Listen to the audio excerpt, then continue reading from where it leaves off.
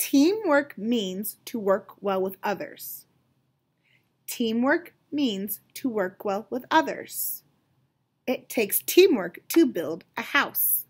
It also takes teamwork to make the dream work.